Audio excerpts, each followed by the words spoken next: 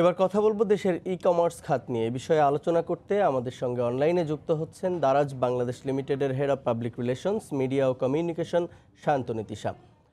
জনাব তিশা আপনাকে স্বাগত। আমরা একটি রিপোর্ট দেখছিলাম যে অনলাইন ভিত্তিক ব্যবসা বাণিজ্য করোনা কালে একটা সম্প্রসারিত হচ্ছে এবং প্রচুর নতুন নতুন কোম্পানিও অনলাইন মার্কেট প্লেসে যুক্ত হচ্ছে। দারাজ একটা বড় মার্কেট প্লেস আপনি সেটির নেতৃত্ব দিচ্ছেন। তো সেটি আসলে অনলাইন ভিত্তিক ব্যবসার যে ক্রেডিবিলিটি সেটি রক্ষায় বা তাদের যে যে কার্যক্রম সেটি আরও বেশি গতিশীল করার জন্য কিংবা যারা ক্রেতা তাদের চাহিদা মিটিয়ে তাদের যে আস্থা অর্জন সেটির জন্য আপনারা কি কি নতুন পরিকল্পনা করছেন?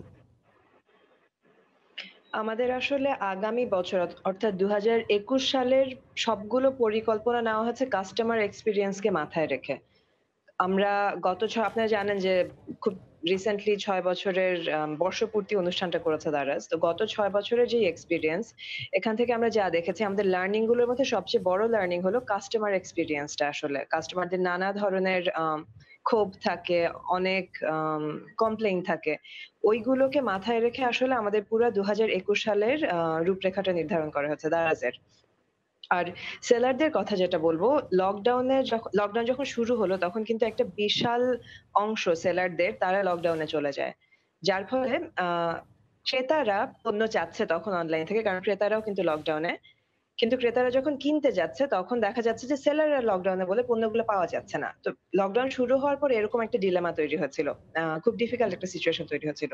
তো ওই সময় আসলে দারাজ প্রত্যেকটা সেলারকে অনুদান দেওয়া থেকে শুরু করে তাদেরকে নতুন করে অনবোর্ডিং করা থেকে শুরু করে ফ্রি অফ কস্টে নানা ধরনের ট্রেনিং দেওয়া থেকে শুরু করে অনেকগুলো পদক্ষেপ নিয়েছে। সেলার মৈত্রী প্রোগ্রাম বলে একটা চালু করেছে, যার ফলে এখন আবারও আমরা সেলারদেরকে অনবোর্ড করতে পেরেছি এবং এবার আমাদের অ্যানিভার্সারি ক্যাম্পেইন আসলে সাড়ে ছয় হাজার সেলার পার্টিসিপেট করেছিলেন। একটা জিনিস আমরা দেখছি রিপোর্টে আমরা দেখলাম যে নতুন নতুন পণ্য অনলাইন মার্কেট প্লেসে আসছে এবং আমাদের সরকারও দেখছি, চেষ্টা করছে যে রপ্তানির বাজারেও নতুন নতুন পণ্য যুক্ত করার জন্য। তো সেক্ষেত্রে এটির কি কোনো যোগসূত্র করা সম্ভব? মানে আপনারা ঠিক কী ধরনের নতুন পণ্য এখন বাজারে আনছেন অনলাইন মার্কেট প্লেসে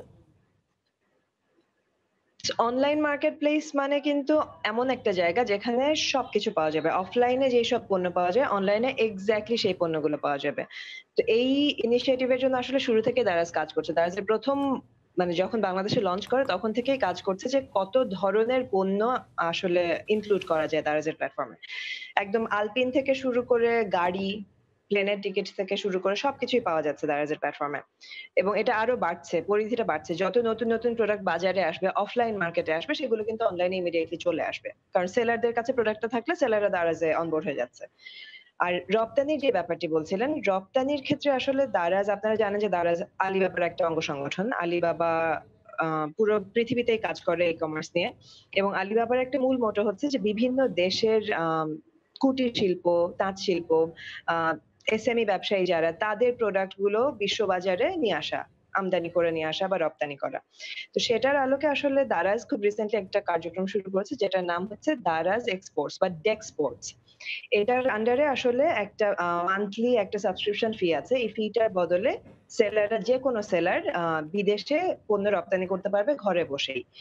পুরো যে প্রসিজিওরটা যে পণ্য নিয়ে বিদেশে পাঠানো, পুরো কাজটা দারাজই করবে এবং সেটা চলে যাবে আলিবাবার ওয়েবসাইটে সেখান থেকে বিশ্ববাজারে পণ্য বিক্রি হবে। তো এই উদ্যোগটা অলরেডি শুরু হয়ে গেছে। যেহেতু ব্যবসা সম্প্রসারিত হচ্ছে, সেক্ষেত্রে সরকারেরও নজরে আসছে অনলাইন ভিত্তিক ব্যবসা বাণিজ্যকে আরও একটু তদারকির আওতায় আনার। আমরা প্রতিযোগিতা কমিশনের বক্তব্য থেকেও সেরকমই শুনলাম। আপনাদের সঙ্গে কি এ ধরনের কোনো আলোচনা হয়েছে কিনা যে ঠিক কোন প্রক্রিয়ায় সরকার তদারকিটা করতে চাচ্ছে কিংবা এই মার্কেট প্লেসগুলোর উপরে নজরদারি কিংবা গ্রাহক সন্তুষ্টি রক্ষার জন্য ঠিক কি কি ধরনের ব্যবস্থা সরকার নিতে যাচ্ছে? আপনারা কি কোনো গাইডলাইন বা আউটলাইন দিয়েছেন? না রিসেন্টলি আলোচনা হয়নি কিন্তু এটা তো আসলে মানে অনেক বছর ধরেই হয়ে আছে। ই কমার্স নীতিমালার কথা তো সেই গত দুই বছর ধরে তিন বছর ধরে ইনফ্যাক্ট ই কমার্স নীতিমালা নিয়ে বিভিন্ন ড্রাফট আসলো। আমরা আমাদের আম, আম, কি বলে এগুলোকে? মানে আমরা যে জিনিসগুলো লক্ষ্য করেছি সেগুলো ফিডব্যাক দিলাম।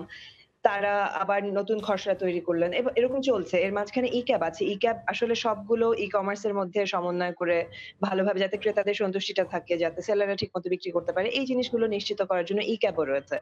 তো আসলে সরকারের বিভিন্ন সংগঠন থেকে সরকারি, আধা সরকারি, বেসরকারি ই কমার্স ক্ষেত্রটাকে কীভাবে আরও ট্রাস্টওয়ার্দি করা যায়, আরও বিশ্বাসের জায়গাটা কীভাবে আরও তৈরি করা যায়, সেইটা নিয়ে কাজ করছে দারাজ এবং এর পাশাপাশি যখনই গভর্নমেন্ট থেকে যদি কোনো নতুন নিয়ম আসে, নীতিমালা আসে, সেগুলো কমপ্লাই করেই আসলে দারাজ কাজ করেছে। ভ্যাট ট্যাক্সের কথা বলতে পারেন। একদম যখন যেটা যেভাবে এসছে, সেভাবেই আসলে কাজ করে যাচ্ছে এবং যে কোনো ই কমার্সের আসলে সেটাই করা উচিত।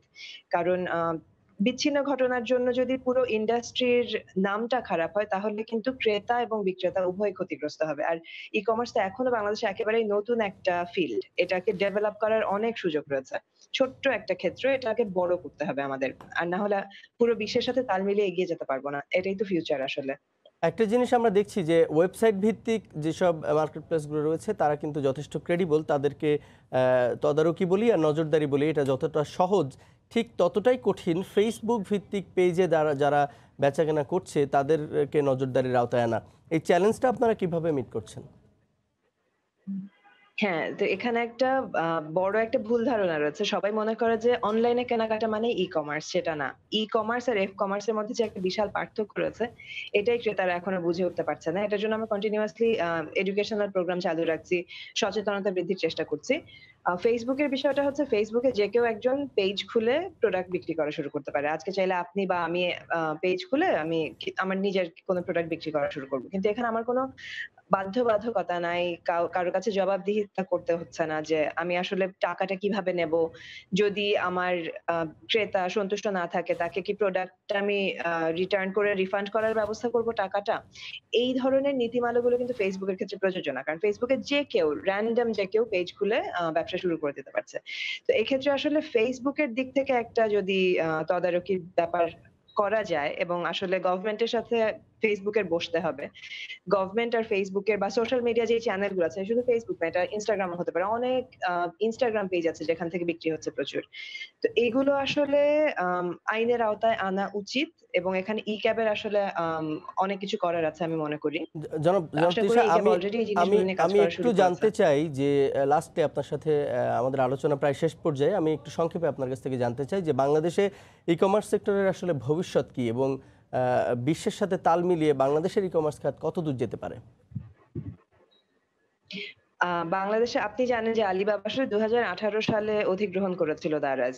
এর বড় একটা কারণ ছিল, মূলত মানে এই কারণটার জন্য আসলে অধিগ্রহণটা করেছিল, কারণ আলিবাবা পোটেনশিয়াল দেখেছিল বাংলাদেশের মার্কেটে ই কমার্সের যে বিশাল ব্যাপ্তি করা সম্ভব, এটার পোটেনশিয়ালটা আলিবাবা দেখেই আসলে দারাজকে শতভাগ অধিগ্রহণ করেছিল।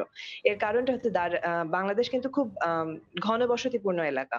পুরো দেশটাই আসলে প্রচুর মানুষ আমরা, আঠারো আঠারো কোটির কাছাকাছি মানুষ। এবং একটা জায়গার মধ্যে এত মানুষ পৃথিবীর আর কোথাও পাওয়া যায় না কিন্তু। যেই কারণে ই কমার্স ব্যবসাটা খুব সহজ।